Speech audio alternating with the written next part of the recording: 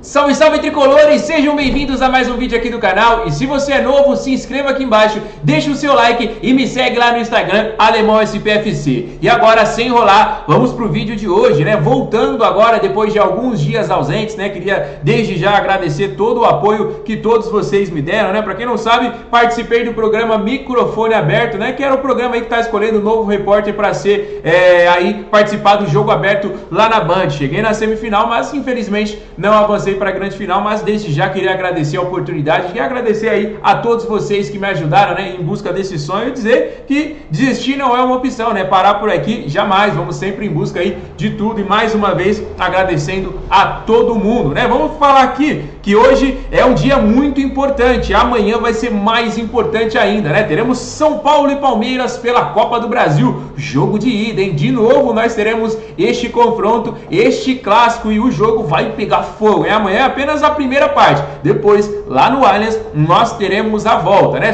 Se, no futebol feminino o São Paulo está representando, jogando dentro do Allianz Parque, espero que agora no masculino a gente represente também. Quem sabe não avance de fase da Copa do Brasil. Vamos falar disso mais um pouco, né? Daqui a pouquinho. Vamos voltar agora, né? Agora a gente vai trazer algumas informações sobre o mercado da bola, que sempre é o que vocês mais gostam de falar. Primeiramente, o atacante Pedrinho, agora oficialmente ex-São Paulo, foi anunciado pela equipe do América Mineiro. O jogador está de volta à equipe que esteve aí antes de sair para o Lokomotiv, né? Ele tinha atuado bem pelo América, foi para a Rússia, começou até bem por lá na primeira partida, fez logo quatro gols, esteve emprestado ao São Paulo depois de toda aquela situação. O jogador teve o contrato rescindido, foi muito é, falado sobre isso nas redes sociais. O jogador queria processar o clube, queria ser reintegrado ao elenco, mas agora de maneira oficial anunciado pela equipe do América Mineiro. O que, que vocês acharam dessa situação? Deixem aí nos comentários. Vamos falar sobre outra situação agora, vamos falar sobre Eferson Soteudo, camisa 10, venezuelano da equipe do Santos, tá com a situação praticamente definida. O jogador não permanece na equipe santista. E agora, o São Paulo volta a cargo, né? O São Paulo que estava tentando fazer o um investimento aí pelo Rodrigo Salazar, aquele meio-campista uruguaio, né, que estava de saída da equipe do Schalke 04, muito jovem e muito qualificado. Agora o São Paulo pode, ó, pegar esse dinheiro que faria esse investimento e quem sabe investir no Soteldo. Para quem está acompanhando aqui sabe que o São Paulo, ó, há um bom tempo procura e busca e tenta de todas as maneiras a contratação do Soteudo. Fato é que nunca conseguiu, às vezes por falta de dinheiro, às vezes por algumas outras situações, mas agora é oficial. O jogador está afastado do Santos, não treina com o elenco e ele vai sair. O Santos vai acertar a compra em definitiva junto com a equipe do Tigres do México e agora vai repassar. Então é praticamente uma compra e venda, cerca de 20 milhões de reais. A gente sabe que isso é negociável e o São Paulo pode fazer uma proposta beirando aí os 15 milhões de reais. Como vocês já sabem, né? Daquele jeito São Paulo, parcelado em 50 anos aí para pagar. Mas e aí, vale o investimento pelo Soteudo? Lembrando que o São Paulo tem a possibilidade sim deste investimento, porque como eu disse aí para vocês, faria esse investimento, tentou e vem conversando aí, ainda está nas, nas buscas aí do Rodrigo Salazar, que hoje está com uma proximidade mais mais, mais assim com a equipe do Vasco. Quero saber a opinião de todos vocês aí sobre o Pedrinho, sobre o Soteldo e agora vamos falar sobre o interesse também real da equipe do São Paulo. O meio campista Citadini da equipe do Atlético Paranaense, jogador que também passou aí pela equipe do Santos, é um dos interesses aí do São Paulo Futebol Clube para esta janela. Ele é um meio campista muito bom, eu acho que ele é aquele cara dinâmico ali no meio de campo, né? Ele marca muito bem, ele compõe muito é, realmente ali fisicamente e tudo mais aquele setor do meio de campo e chega também, pisa dentro da área para fazer o gol. Então é um jogador que eu considero muito interessante e eu gostaria sim do São Paulo. Na hora que eu vi o interesse aí do clube, realmente fiquei muito feliz porque é um jogador interessante. Não vem tendo tanto espaço na equipe do Atlético Paranaense já há um bom tempo,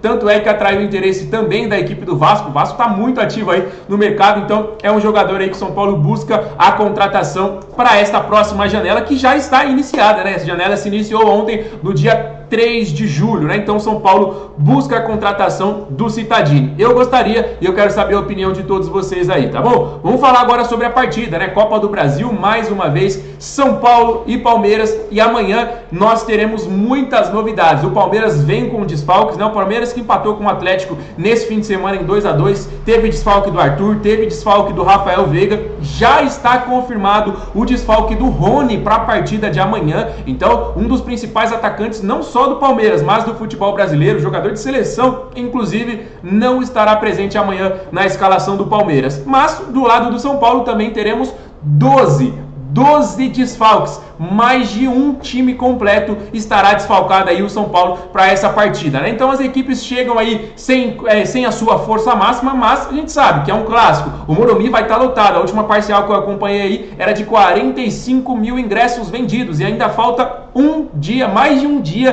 para a partida acontecer, né? Então o São Paulo vive a expectativa também de uma quebra de recorde de público, né? A gente teve aí o São Paulo e Vasco com 57 mil pessoas, uma vitória por 4 a 2 e agora vive-se essa expectativa para esse clássico contra a equipe do Palmeiras de que bata esse recorde aí. Pelo menos 50 mil pessoas estarão presentes na quarta-feira, amanhã, contra o Palmeiras pela Copa do Brasil. Então a expectativa é das mais altas. No vídeo de amanhã a gente vai estar trazendo toda a cobertura do jogo, como veio o São Paulo, como veio o Palmeiras, provável escalação, vamos falar sobre palpite, vamos falar sobre muita polêmica que está envolvida aí o Palmeiras, né? O Palmeiras está envolvido aí em muitas polêmicas com a CBF, né? Isso não é novidade. O Palmeiras inclusive em uma nota oficial citou a Copa do Brasil do ano passado, em 2022, onde eles disseram ser prejudicados contra a equipe do São Paulo. Então, isso segue segue, né? Isso segue porque muita movimentação também nos bastidores. Tem muita gente falando aí sobre alguma punição para a equipe rival e tudo mais, mas a princípio ainda não tem uma informação concretizada e sinceramente acho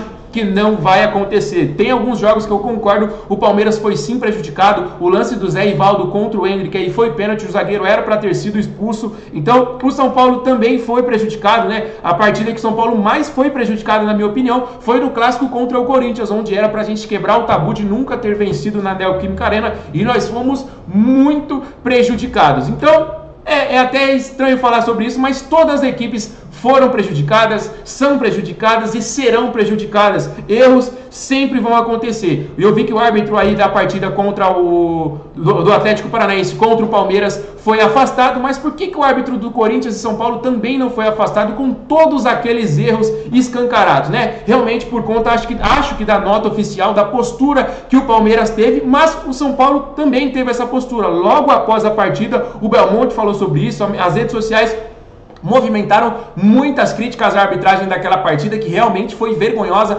Era para o São Paulo ter vencido, era para o São Paulo ter garantido aqueles três pontos. Ó, aquele pontinho do Corinthians hoje está salvando eles de não estarem na zona de rebaixamento. Tá bom, galera? Então, muito disso segue acontecendo e como eu falei para vocês, o vídeo de amanhã é totalmente preparado para o grande clássico, mas apenas a ida, né? Mas vale muito, né? Vale muito. Já pensou a gente consegue uma vitória, dá um passo, dá uma confiança, dá uma segurança para a gente seguir para o jogo de volta e também para as outras partidas no Brasileiro. Tem Sul-Americana também chegando. Não, não tão agora, né? Mas daqui a pouquinho. Então, o jogo de amanhã vale muito, né, não, rapaziada? Por isso eu falo para você ficar sempre ligado. Para você que é novo aqui no canal, tá chegando agora, se inscreve aqui embaixo, ativa aí o sininho de notificação curte o vídeo, deixa os comentários sobre os assuntos que eu falei pra gente estar tá trocando essa ideia, fala sua opinião, fala a minha, obviamente com muita tranquilidade, né? Pra gente trocar essa ideia, me segue lá no Instagram também, Alemão SPFC, tá bom? Amanhã eu volto com mais novidades, fiquem com Deus, um abraço do Alemão, valeu!